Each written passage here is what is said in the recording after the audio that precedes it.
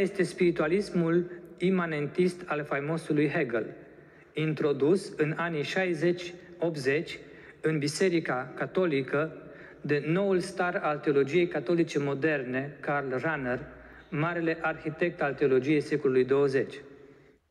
Prin opera acestui autor, spiritul lumii a intrat în templul lui Dumnezeu pentru a îneca sufletele, pentru a demola din interior biserica, cum spune Papa Paul al VI-lea.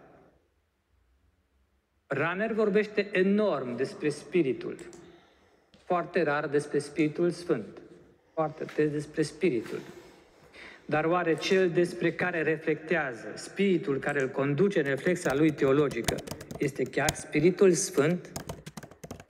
Runner este pentru secolul 20-21 ceea ce a fost Toma d'Aquino în secolul 13 ceea ce a fost Augustin, ceea ce a fost uh, Grigore de Nazian, ca influență, ce a fost Origen.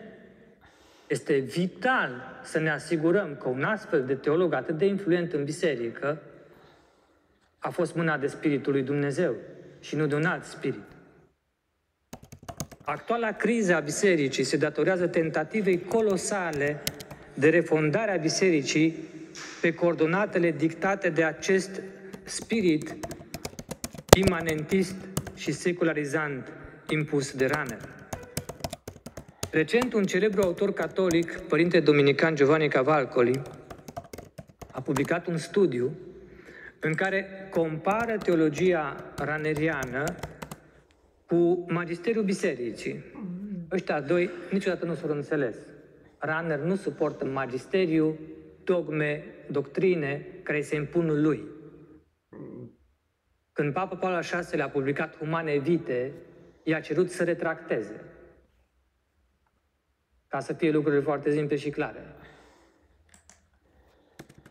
În acest studiu în care a comparat teologia lui Ranel cu Magisteriul Bisericii, acest teolog dominican a identificat în Raner, în scrierile lui, toate marile erezii antice, medievale și moderne reciclate.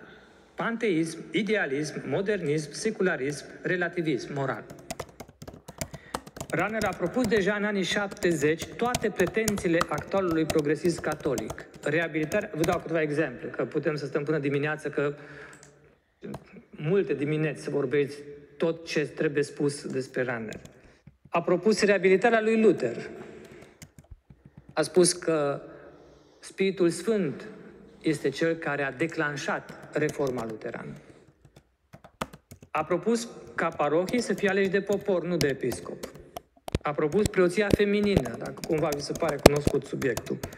A propus posibilitatea pentru un catolic de a vota în favoarea avortului.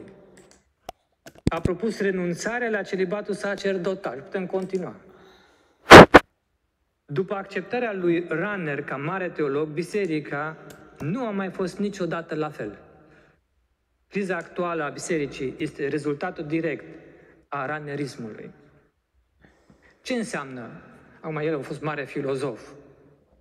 Ați citit vreodată, ați încercat să citiți odată Heidegger. Nimeni nu înțelege nimic. Deci eu am, eu n-am citit. Am început, am văzut, am zis probabil că autorul român nu a știut să traducă. da. Dar și cei care, trebuie, care citesc direct în, în germană tot nu pricep foarte multe lucruri. Ori uh, Ranner este cel care l-a introdus pe Heidegger în teologia catolică. Adică ce a făcut? O operație foarte simplă, mă rog, complicată pentru noi, e simplu de spus. L-a scos pe Toma de Aquino, pe Aristotel, pe Platon, da? Și a introdus în locul lor pe Kant, pe Hegel, dar ăștia sunt doi luterani apostați, da? Pe Kant, pe Hegel și pe Heidegger. Ăsta nu mai este nici luteran, este direct apostat. Da? Și plecând de la filozofia acestor apostați, a încercat să rescrie toată teologia catolică. Și apoi ați văzut ce a ieșit. Dacă ar fi să Spunem pe scurt ce uh, caracterizează teologia sa. Teza centrală a lui Karl Rahner poate fi exprimată astfel. Revelația dumnezeiască, despre care noi spunem, când ne vedem revelație, ne gândim la îngeri, la, nu știu, la Arhanghelul Gabriel, care a venit la Fecioara Maria. Și noi spunem foarte simplu, există lumea aceasta, în care suntem noi, lumea de jos, și este lumea cealaltă, de sus, unde, este, unde sunt îngerii și Dumnezeu. Da? Există pământul, partea imanentă a lumii, și există partea transcendentă. Există dincolo, transcendența dincolo. Da? Este lumea de dincolo. Termenul ăsta transcendent e foarte așa, că te sperie. Dar înseamnă lumea de dincolo.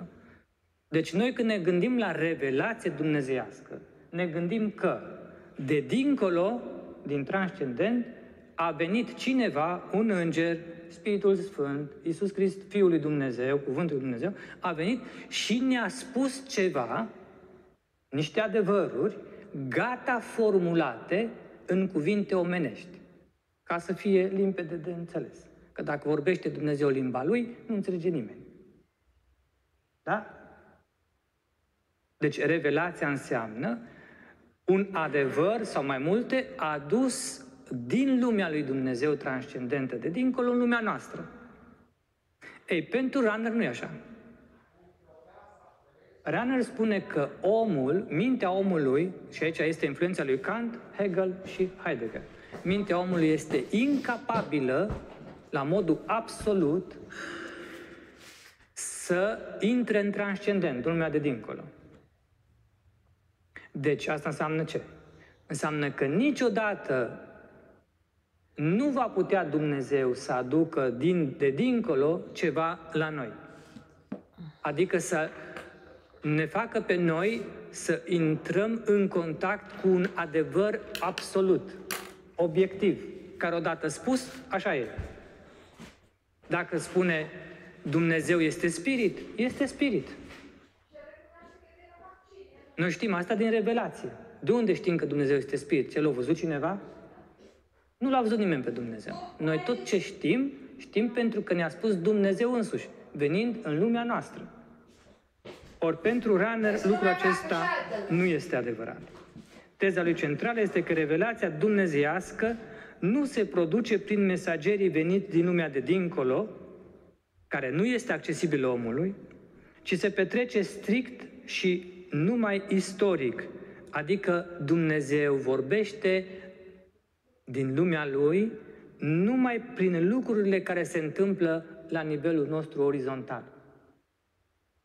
Adică cumva nu poate să trimită un înger la Sfânta Fecioară Maria, ci ar trebui ca ea să-și dea seama din viața ei cotidiană că Dumnezeu vrea să se zămislească Fiul în ea. Și asta înseamnă că legătura dintre Dumnezeu și om este secționată. Nu poate să existe un dute vino, nu ca și scara lui Iacov. Nu există așa ceva. Dumnezeu este unde este El, și noi suntem unde suntem noi. Și Dumnezeu nu poate să vorbească cu noi decât strict numai prin istoria noastră de viață.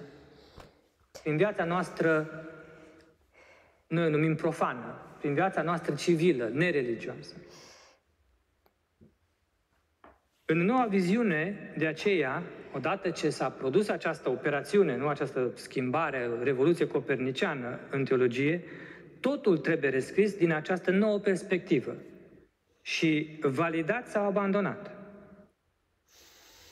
Limbajul tradițional catolic este astfel descalificat definitiv și toate noțiunile trebuie criticate, golite de sensul clasic și resemantizate. Li se dă alt sens. Toate, absolut toate noțiunile teologice și religioase au fost reinventate. Sfințenia nu mai înseamnă ce a însemnat înainte. Harul nu mai înseamnă ce a însemnat înainte. Da? Toate. Uitați-vă, eu mă amintesc că eu am trăit așa, am crescut în școală, cu noile dicționare, așa cheamă, noul dicționar de teologie.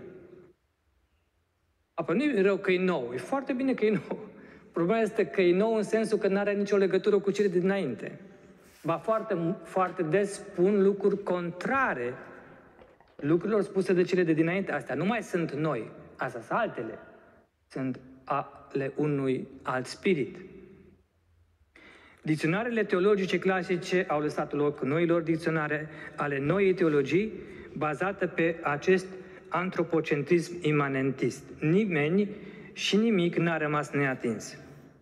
Iar când textul biblic, mai nou, în ultimii 15 ani, după moartea lui, lui Ranner, n-a mai permis rescrierea teologiei, s-a apelat la noi traduceri aliniate noi ideologii. Știți că e la modă acum să se traducă Biblia complet diferit. Dar tot se traduce diferit. Și cu tatăl nostru a fost o, un scandal până la cer și înapoi. Dar sunt atâtea lucruri, în, nu în România, în țările occidentale, schimbate în traducerea Bibliei, încât uh, lumea pur și simplu nu le cunoaște, că sunt prea multe. Vă dau un exemplu. Este un loc în Scriptură unde se vorbește explicit despre iad, în Epistola Sfântului Petru. Despre iad. Tartar, așa este. În limba latin, în limba greacă, acolo e Tartarus. În noua Biblie italiană au scos cuvântul cu totul. Nu se potrivește cu noua teologie în care o să vedeți un pic mai încolo, pentru Runner nu este iad. Și atunci, de ce trebuie să fie în Biblie iad? Sigur, cine o scris? Nu o scris în mintea lor, nu o scris Petru, acea scrisoare. O scris-o a doua, a treia generație de ucenici a lui Petru. Nu, păi nu știu el ce scrie. O greșit.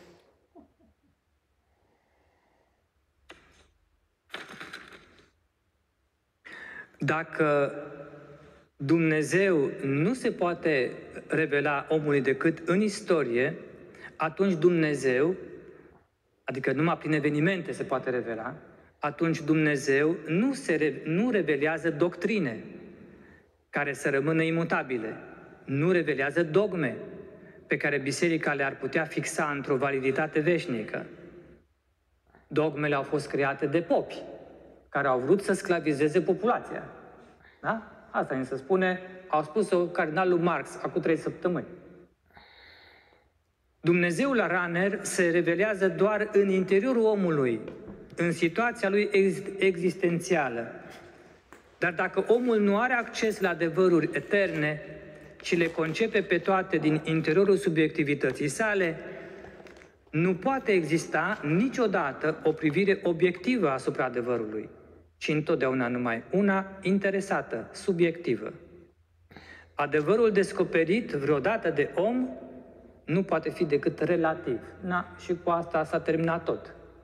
Pentru că dacă nu există adevăr obiectiv la care să avem acces, atunci fiecare cu adevărul lui. Dumnezeu știind această limitare, da, Dumnezeu știind această limitare a omului, spune omului de a cunoaște adevăruri obiective, se dezvăluie numai în experiențe, în fapte, în întâlniri, în procese, în succese, în probleme, în dificultățile pe care le întâmpină omul pur și simplu, trăind ca om, alături de alți oameni. Deci Dumnezeu nu se revelează în biserică, se revelează în lume. Istoria mântuirii nu începe ca în Biblie cu Avram. Nu știți că istoria mântuirii începe cu Dumnezeu care se duce și îl cheamă pe, pe Avram. Ci toată istoria profană este sacră. Dacă Dumnezeu nu vorbește oamenilor direct, ci numai prin experiențele profane ale vieții, nu există diferență între istorie sacră și profană. Biserica deci, nu știe mai multe despre Dumnezeu decât știe lumea. Ba din contră, în multe aspecte, lumea este mai avansată decât biserica. Și biserica trebuie să învețe de la lume. Ați auzit asta recent, acum vreo lună, două? Ba din contră, trebuie să învețe de la lume. Astfel, se schimbă radical raportul lume-biserică. Biserica neavând cu adevărat un adevăr superior de transmis, primit din cer, direct formulat de Dumnezeu, nu? decalogul. Noi spunem că l-a revelat Dumnezeu. Runner spune, iară citiți infantil Biblia. Nu s-a întâmplat așa ceva. Moise a inventat decalogul. Și după aceea, sigur, ca să-l accepte lumea, au zis că el a dictat Dumnezeu. Biserica, dacă nu mai are un adevăr superior, nu mai poate avea sarcina de a mântui lumea, de a lumina și de a-i da ceva ce numai ea îi poate da, adică harul. Pentru că Dumnezeu se revelează și în afara bisericii, în existența umană ca atare. Și El este prezent în om chiar mai înainte ca omul să ia decizia de a crede sau de a nu crede.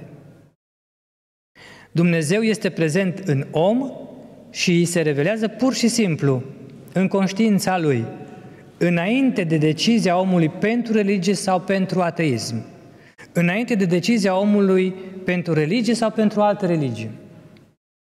Pentru Dumnezeu, toate aceste decizii ale omului sunt căi compatibile de revelare și de mântuire. Dumnezeu este cumva superior, este deasupra oamenilor, îi știe pe oameni că sunt incapabili și infantili și dacă omul alege o religie sau alta, pe Dumnezeu nu-l deranjează. O să aleagă oricare, că oricum niciuna nu este chiar revelată, dictată de Dumnezeu. Toate sunt interpretări umane ale intervențiilor lui Dumnezeu în experiența cotidiană a omului. Nu e niciuna mai bună sau, sau mai rea. Nu prin alegerile religioase ne deschidem deci spre Dumnezeu și nu prin alegerile ateie ne închidem față de Dumnezeu. Credinciosul merge împreună cu necredinciosul și cu credincioși și altor religii, pentru că Dumnezeu se revelează neenunțând conținuturi noționale, nu dictează un crez, de exemplu, ci Dumnezeu se revelează atematic tuturor oamenilor în conștiința lor. Dumnezeu, continuă Runner, nu se dezvăluie oamenilor în răspunsuri la întrebări, ci suscitând întrebări. Existența este în esența ei chestionabilă, și în această interogare Dumnezeu se dezvăluie omului. Căci această dubi, în această dubitare omului îi, îi se revelează Dumnezeu, adică un ceva ce nu poate fi închis într-un concept, într-o definiție dogmatică, într-o formulă. Pentru runner, atâta timp cât poți să spui despre Dumnezeu că e ceva, nu e Dumnezeu, deci mai bine nu spui nimic. Și Dumnezeu niciodată n-ar face lucrul ăsta, să se închidă El pe El însuși niște borcănașe pe care scrie lumină, foc, uh, spirit, da? Nu ar face niciodată o astfel de autolimitare de sine. Îndoiala aparține tuturor și de aceea toți oamenii sunt creștini anonimi, fără să știe că sunt și fără să fie numiți așa. De aceea, biserica, în consecință, trebuie să se deschidă tuturor, credincioșilor, ateilor, credincioșilor altor religii, credincioșilor din alte culturi sau alte stiluri de viață, fără mai pune bariere la intrare. Și așa a apărut în Germania lui Ranner, am văzut biserică catolică cu uh, un uh, alteraș pentru Buddha, cu loc pentru musulmani, cu altar catolic, da, cu o capelă ortodoxă, cu or, dar nu ca și un act de ospitalitate, că asta ar fi acceptabil până un punct, dacă nu îl trăznește Dumnezeu. Dar nu, este deschisă tocmai pentru că se susține că niciuna dintre aceste forme nu sunt ceva. Că toate sunt un nimic. Biserica ar trebui deci să fie deschisă tuturor, nu numai în sens pastoral, ci și în sens doctrinar. Conceptul de erezie dispare astfel și toți aparțin bisericii, indiferent de ceea ce susțin. Chiar și cei care îl neagă pe Dumnezeu aparțin bisericii. Comunitatea creștină este deci o comunitate de oameni și nimic mai mult. Păi, tocmai am insistat la că Irineu zice, secolul III, nu? Ă, spune că creștinul nu este ca ceilalți oameni. Nu este numai trup și suflet. Este trup, suflet și spirit sfânt. Ori la Raner este om și nimic mai mult. Așa ajungem la nevoia de a asculta pe necredincioși în biserică, la sincretism religios, la nevoia de a nu mai avea creștini cu situație regulară sau neregulară în biserică. Că totul trebuie pus sub semnul întrebării, în afara ideii de chestionabilitate, de îndoială. Învățătorii bisericii trebuie să înceapă să învețe ei de la cei pe care au sarcina să învețe. Biserica însăși trebuie să se așeze într-o atitudine de ascultare față de lume. Nu invers. Nu ea să învețe lumea, ci lumea este cea în care se revelează Dumnezeu cu o revelație pe care biserica nu o are și ar fi bine să deschidă urechile. În noua religie a lui Ranner, revelația nu este ca în creștinism. În creștinism, revelația publică s-a terminat la moartea lui Ioan. În Ranner nu s-a încheiat, ci este o continuă evoluție istorică. Dogmele nu sunt adevăruri universal și absolut adevărate dincolo de orice situație existențială. Întrucât omul nu poate cunoaște niciodată absolutul, dogma este întotdeauna subiectivă. Este doar o interpretare a unei generații de creștini dintr-o anumită situație istorică concretă, valabilă pentru ei. Da, am zis piromanul. Păi asta aruncă în aer dogma Sfintei Trăimi. Sfântul Grigore de Nazianz, nu, care a creat dogma Sfintei Trăimi ca și formulă, să o creeze pentru el. Pentru noi nu este valabilă. A, el așa vreau să închei, că întrebarea a fost la început dacă spiritul lui este spiritul lui Dumnezeu. El nu mai crede în Sfânta Trăime. Adică crede, dar nu ca și Biserica Catolică. Nu ca și Grigore de Nazianz, oricum. Dacă Dumnezeu continuă să se reveleze neîncetat, învățătura, consecința este că învățătura veche, aia a lui Grigore de Nazianz, nu este superioară învățăturii noi ci este invers. Ceea ce este nou este revelația mai proaspătă, nu? mai utilă, mai potrivită pentru generația actuală. Deci tot ce au spus ceilalți în spate, să punem acolo în bibliotecă. E important ce spune Magisteriul Viu de astăzi. Ați auzit asta? Învățătura veche trebuie înțeleasă întotdeauna conform lui Runner, în lumina ideilor noilor învățături. Și nu așa cum a învățat nu Papa Ratzinger, Papa Benedict, noua învățătură să fie înțeleasă în lumina revelației biblice și a magisteriului vechi, tradițional. Dacă toată învățătura este o continuă evoluție a unor adevăruri relative, atunci însă și ideea de tradiție se distruge și ideea de depozit de credință este complet golită de sens. Păi ce depozit? Stricat. Nu? S-a stricat. A trebuit să aruncăm ce acolo, că e de mult. Și să punem ceea ce este nou, pentru că Dumnezeu continuă să se reveleze.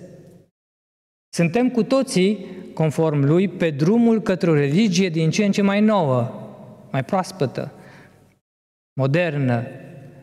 Diferențele dintre religii se vor estompa și de asemenea granițele dintre credință și ateism. Iar dacă doctrina nu mai este ceva, nu? Că atunci chiar că nu mai este nimic, dacă totul e relativ, ce mai contează? Nu ne mai interesează doctrina. Ar fi bine nici să, mai desc- să nu mai spunem cuvântul doctrină. Atunci ne rămâne ce? Practica, acțiunea. Și aici Runner, nu, după Heidegger, adoptă principiul marxist – al, știți, la Marx, priorității practice în fața doctrinei. Dacă la Marx acțiunea politică face adevărul, la Runner, pastorala definește adevărul. Grija pastorală nu mai este înțeleasă ca o aplicare a doctrinei, ci ea însăși devine o sursă a doctrinei. Practica bisericii devine o prioritate față de doctrina ei. Episcopii sunt înțeleși ca păstori în sensul de îngrijitori ai oilor din turma lui Hristos, dar niciodată în sensul de cei care protejează oile de lup. Adesea autorii unor alegeri pastorale ciudate și excentrice sunt prezentați ca profeți ai unor noi doctrine. De pildă, dacă un preot de stradă spune o sumedenie de erezii, cum este la modă astăzi, dar în schimb îi și ajută pe toxicodependenți sau pe membrii comunității LGBT, este considerat demn de a fi apreciat un preot uman. În schimb, dacă, aici mă gândesc la Părintele Ovidiu, nu? Dacă preotul stă ore întregi în confesional și nu a înființat nicio lucrare de asistență socială împreună cu municipalitatea, este considerat depășit, de modă veche. Un preot care a rămas încă prizonier vechilor doctrine din epoca dogmatistă a bisericii, sacramentalistă. Ar trebui să mai lăsăm cu sacramentele și să punem accentul pe om. Prioritatea pastorală asupra doctrinei evidențiază modul în care biserica nouă a lui Runner este cu adevărat altă biserică, o nouă biserică, neobiserică, care are puțin sau nimic de a face cu biserica catolică. Înțelegem astfel și divizarea de acum endemică din interiorul bisericii. Dacă toți oamenii sunt receptacole egale ale revelației actuale, nu se mai înțelege nimeni cu nimeni în scurt timp. Iată neobabelul de astăzi, în care politica ecleziastică devine superioară doctrinei, pentru că doctrina se poate supune la vot democratic. În noua biserică, nu sfinții mărturisitori vor vota ca la Nicea. La Nicea n-a votat oricine. A fost Sfântul Nicolae, care era brăzdat nu, de, de, de răni din timpul persecuției.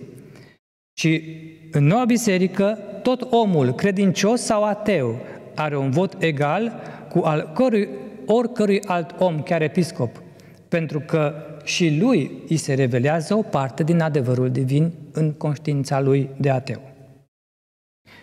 Poate fi aceasta de la Spiritul Sfânt?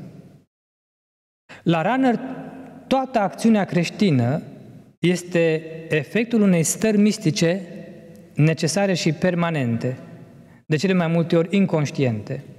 La el mistica nu este ceva extraordinar și conștientizat. La el toți oamenii sunt din naștere mistici, dar nu-și dau seama. Și nu se poate proba. Dar Isus a spus că se poate totuși proba profetul după roade. Că acela îl iubește care împlinește poruncile lui. La Runner nu există ideea de păcat grav. Vă spun și de ce, e foarte simplu. Avea amantă. Păi dacă avea amantă, trebuia să-i justifice un pic, nu? Comportamentul. Mai știu mulți teologi moderni, ala Runner, dar nu Runner, care nu aveau amantă, aveau prietenă spirituală, o călugăriță sfântă și a sfințit și pe ei și i-a scos din ranerism. E pe el nu l-a scos nimeni. A rămas cu amanta până la sfârșit. De aceea la runner nu există ideea de păcat grav.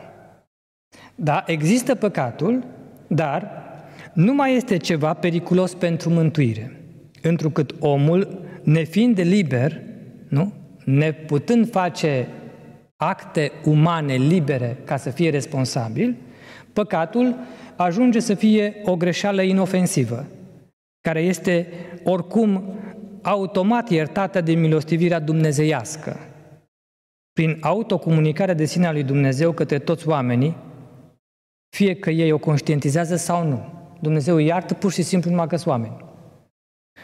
Păcatul niciodată nu alungă harul lui Dumnezeu, pentru că nu aduce atingere relației cu Dumnezeu, ci păcatul există numai în planul acesta trecător, imanent, în care, neexistând un adevăr cert, nu se poate decide soarta veșnică a omului. Lucru, soarta veșnică a omului, ține de transcendent. Ori, dacă păcatul este în imanent în viața aceasta, nu și există, la început am spus, ruptura între transcendent și imanent, atunci păcatul este pentru aici și nu are absolut niciun fel de efect în viața de dincolo. A, păi atunci putem să facem ce vrem. De-aia putea să aibă amantă, nu?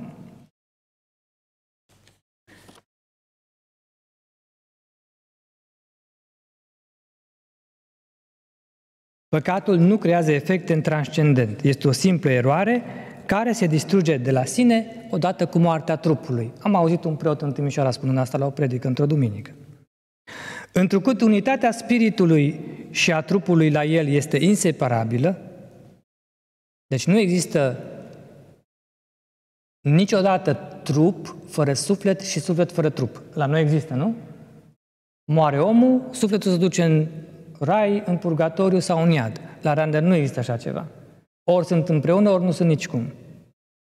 Corpul este o expresie a spiritului și spiritul este un corp autotranscens. Nu este nevoie, în consecință, absolut deloc, să ne mortificăm sau să învingem sau să încercăm să îmblânzim impulsurile trupului.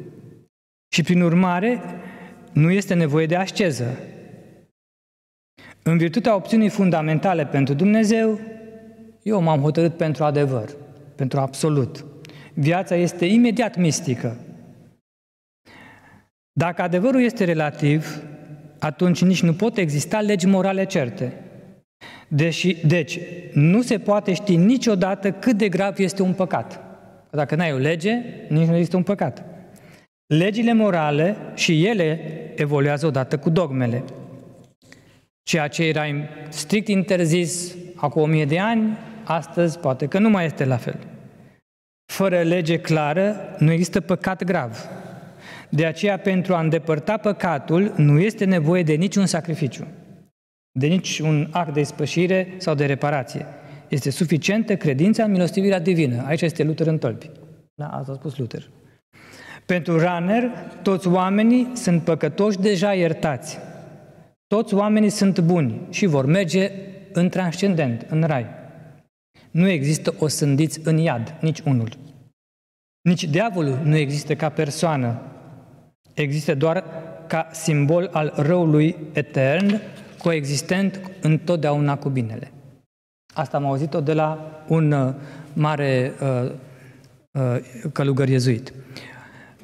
Harul fiind imanent, toți oamenii sunt în har și nu-l pot pierde niciodată. Harul este în om, cum este sângele în om. Nu poate să îl piardă. Deci poți să faci orice că nu-l pierzi. Toți sfinții, în schimb, în Biserica Catolică, au trăit cu frica de a pierde harul. Dar noi, dar noi creștini ai epocii apostaziei generale, sunt sigur că sunt în har tot timpul. Asta e aroganță, nu? Aroganța nu face casă bună cu Spiritul Sfânt, pe care Dumnezeu știm că îl dă numai celor umili. Neoteologii actuale însă, trăind în această autocertitudine de a fi permanent în har, ajung la prezumția de a fi în continuu instrumente ale lui Dumnezeu, maestri ai adevărului mântuitor, redescoperit în sfârșit în biserică după viacuri de uitare. În consecință, ranierienii, dându-se adevărați tomiști, au pornit în anii 60-70 un enorm proiect de a-l înlocui pe Sfântul Toma în educația catolică, în formarea clerului și în promovarea teologiei. Deși sfatul Conciliului Vatican II a fost altul. L-a promovat, Conciliul l-a promovat pe Toma, dar cine a ținut cont? În consecință, s-au golit seminarele. În consecință, după 40-50 de ani, nu mai avem preoți în sate și la oraș. Care sunt rezultatele? Le avem sub ochi. Neascultarea de magisterul bisericii, confuzia tinerilor, degradarea teologiei, accentuarea conflictelor intraecleziale și sociale, apostazia de la credință, declinul vocațiilor, practica religioasă și sacramentele abandonate, scandalurile păstorilor pe toate gardurile și pe toate televiziunile, răspândirea nemai întâlnită a viciilor, a deprimării, a dependenței de substanțe narcotice, incapacitatea de a mai discerne pur și simplu binele de rău. Biserica nu mai poate discerne nici măcar gravitatea ideologiei LGBT, nici atât. Biserica este învățată să se predea lumii și să considere aceasta ca un lucru bun, ca fiind lucrarea Spiritului Sfânt. În încheiere, scria un filozof italian contemporan că astăzi, dacă ne uităm în biserică, pare că Ranner a învins. Pare că Ranner a câștigat deja, pentru că se crede că precepte absolute nu mai pot exista, că dogmele trebuie să fie date uitării pentru că sunt rezultatul interpretării umane, că practica contribuie la realizarea adevărului, că Evanghelia nu are sens decât dacă este citită plecând de la situația concretă a omului, că morala tradițională a bisericii cu privire la sexualitate este depășită, că nicio situație obiectivă de viață nu poate fi vreodată judecată și, prin urmare, evaluată în lumina rațiunii și a credinței, nu morala subiectivă, și că nu mai putem vorbi de un suflet al omului, că credința este o experiență existențială, că femeile pot fi hirotonite preoți, că episcopii și preoții parohi trebuie să fie aleși de cei de jos, că biserica învățătoare trebuie să fie învățată, că centrul vieții creștine este mila fără adevăr și fără dreptate, că Dumnezeu în Hristos a mântuit deja pe toți oamenii și că iadul este doar un mit, precum și păcatul originar, doar un mit, miracolele sau creația însăși. Că nimeni nu știe când este cu adevărat ceva un păcat, că distinția dintre păcatul de moarte și cel venial este doar o simplă dispută legalistă, că din moment ce totul este strict istorie, chiar și Isus a trăit progresiv un proces de conștientizare a ființei sale divine, că biserica nu are niciun titlu preferențial în ceea ce privește posesia unui adevăr superior față de lume, că cei divorțați și recăsătoriți pot să aibă acces la Euharistie, că catolicii pot adopta legi privind avortul, că a pretinde că influențează legile statului din motive religioase, a pretinde a influența regile statului din motive religioase înseamnă a transforma credința în ideologie, că biserica nu, nu spune nu la nimic, ci se limitează doar să primească de la lume și să însoțească, că dogmele evoluează, că revelația are loc în dezvoltare progresivă a conștiinței, că biserica trebuie să se deschidă tuturor, că păstorii nu trebuie să mai învețe, ci trebuie să asculte, că nu trebuie să dea răspunsuri, ci doar să pună întrebări, că îndoiala este pozitivă pentru credință, pentru că îi stimulează viața, că legea nouă a desfințat-o pe cea, lege, pe cea veche cu totul, că ascultarea de Dumnezeu din datorie este o trădare a Evangheliei, că adevărata masă euharistică nu este altarul, ci săracii sunt altarul, că secularizarea este pozitivă pentru credință, pentru că o eliberează de tentația ideologică, că pluralismul filozofic și teologic este bun pentru biserică, că pot exista diverse cristologii contradictorii și legitime în același timp, că ar trebui promovată descentralizarea doctrinară, să avem o doctrină în Germania și alta în Polonia sau în Italia sau în România, că sinodalitatea și conciliaritatea trebuie să găsească o configurație instituț- instituțională permanentă alături de primatul Petrin, că biserica nu trebuie să mai facă prozeliți, că misiunea nu trebuie înțeleasă ca și convertirea altora, ci ca și convertirea propriei persoane, că lumea trebuie să fie ascultată și nu judecată, că fidelitatea doctrinară este contrară milei față de om, că interesul pentru persoană trebuie să preceadă întotdeauna interesul pentru sacramente, că biserica trebuie să-și asume limbajul lumii și nu să învețe lumea limbajul bisericii, că unitatea este o formă de, de, de închidere, de egoism, nu? Și atunci trebuie să distrugem unitatea ca să nu mai fim egoiști, că conviețuirea este mai importantă decât conținutul conviețuirii, că ar trebui să colaborăm cu toată lumea, că cel mai important este să mergem împreună, independent, independent de doctrinele mărturisite, că doctrina nu trebuie prezentată deodată, că preocupările de coerență doctrinară sufocă impulsul spiritului cu sămic și al carității. Închei citatul. A fost cam lung, dar cumva a sintetizat starea în care ne aflăm. Deci pare că Ran era învins, dar nu este așa. În biserică, întotdeauna adevărul învinge. Chiar dacă oamenii bisericii și structurile ei vor avea mult de suferit. Nu-l pot învinge oamenii niciodată pe Spiritul Sfânt. Runner nici nu crede în Spiritul Sfânt, în persoana Spiritului Sfânt. Pentru el nu există trei persoane divine distincte, ci există trei moduri de a ne veni Dumnezeu în întâmpinare, în lumea aceasta.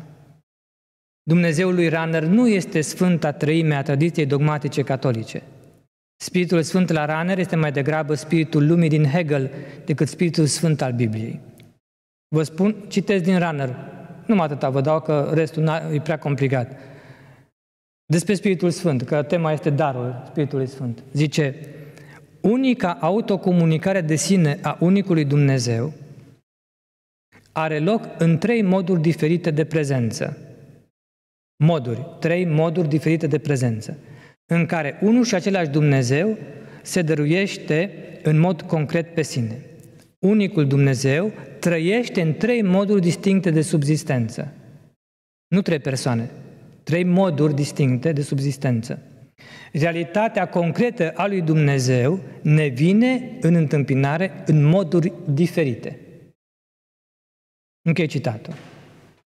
Ei, acesta este, se cheamă modalism. Modalismul a existat erezie în secolul III în Biserica Catolică.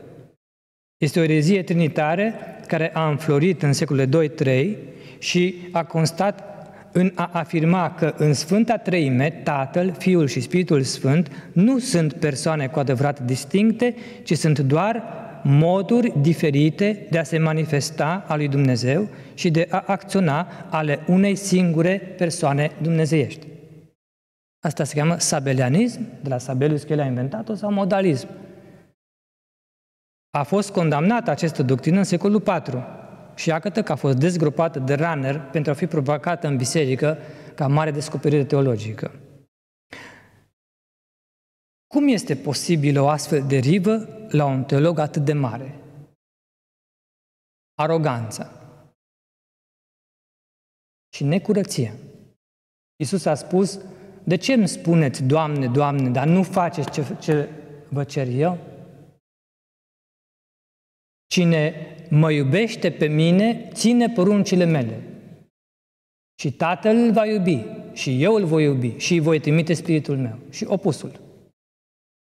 Cine nu ține poruncile mele, nu mă iubește și nu îi voi trimite Spiritul Sfânt.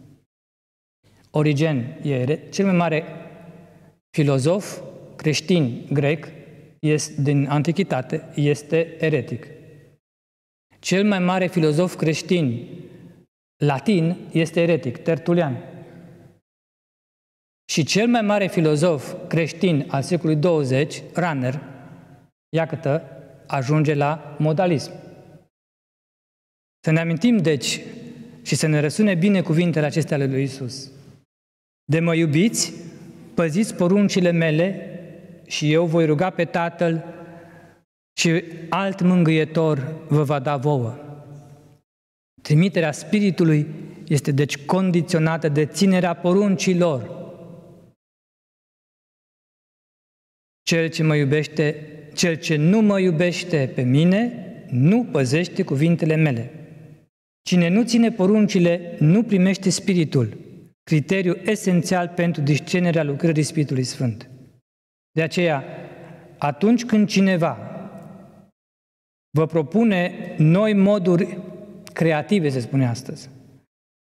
Trebuie să facem teologie cu imaginație creativă. S-a spus și de la amvonul ăsta. Am vrut să mă ridic de acolo și să plec. Dar am zis că nu e cazul. Da? Când cineva propune noi moduri creative de a înțelege religia creștină, mai întâi trebuie verificat dacă Spiritul Sfânt poate lucra în el. Spiritul Sfânt nu poate lucra în cine nici nu e trimis. Și nu este trimis în cel care nici nu vrea să țină poruncile, ci vrea să le încalce și justifică filozofic și teologic această încălcare. Dumnezeu nu reformează biserica prin mari păcătoși. Ranner a zis că a reformat Dumnezeu biserica prin Luther și prin el. Ci Dumnezeu reformează biserica prin mari sfinți. Dacă țineți la mântuirea propriului vostru suflet, Așa vreau să închei. Verificați biografiile personalităților care vă influențează major viața. Nu vă duceți după oricine. Mergeți după Hristos. Lumea supusă Spiritului Lumii nu-L va putea niciodată cunoaște, primi și înțelege pe Spiritul Sfânt.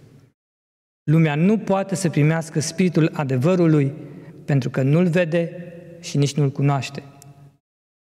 De aceea noi trebuie, asemenea Sfinților din trecut, și nu asemenea neocreștinilor aroganți din această perioadă a istoriei, trebuie să ne recunoaștem cu totul neștiutor dacă suntem sau nu în Harul lui Dumnezeu. Că ei spun că știu sigur că sunt.